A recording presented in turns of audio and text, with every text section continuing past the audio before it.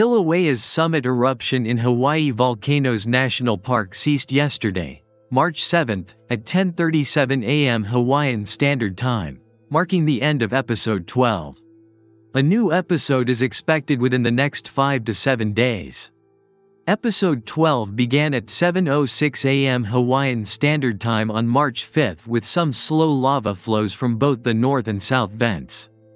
Fountaining from the north vent began at 2 p.m., and the north vent began shortly after.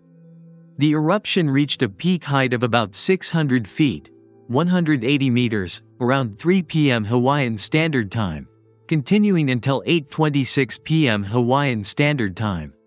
Thereafter, low-level, intermittent fountaining continued throughout the night until 10:37 a.m. Hawaiian Standard Time on March 5.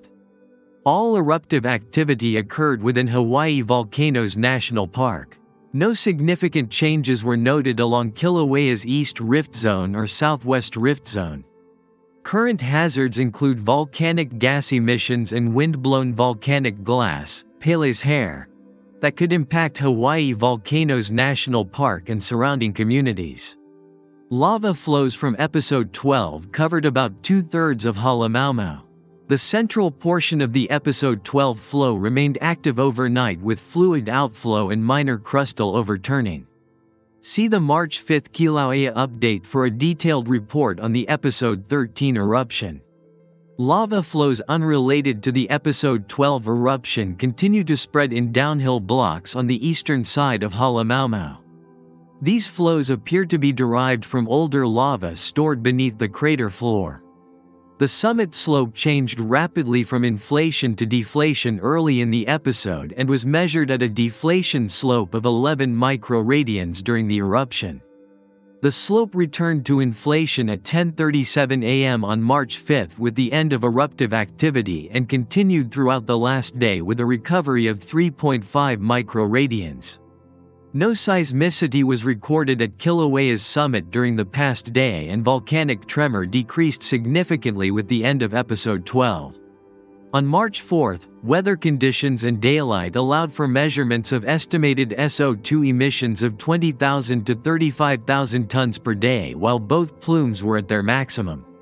Levels have declined since then and were measured at 1,800 tons per day yesterday afternoon, following the end of eruptive activity. Halemaumau lava flow episodes since December 23, 2024 have lasted from 13 hours to 8 days and episodes are separated by lulls in eruptive activity lasting from less than 24 hours to 12 days. While episode 12 began with intermittent eruption at 7:30 a.m. Hawaiian Standard Time, sustained eruption did not begin until 12:45 p.m. Hawaiian Standard Time and lasted for less than 22 hours. Strands of volcanic glass known as Pele's hair have been reported on the surface throughout the summit area of Hawaii Volcanoes National Park and surrounding communities.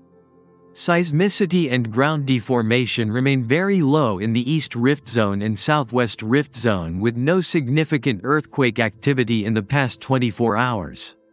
Sulfur dioxide, SO2, from the East Rift Zone remains below detection limits. The current eruption is characterized by episodic fountaining not seen in other Halemaumau eruptions since 2020. Fountaining and lava flows have erupted from two vents we refer to as the North Vent and South Vent. Previous episodes have lasted from a few hours to over a week. Each fountaining episode was accompanied by strong deflation in the summit region.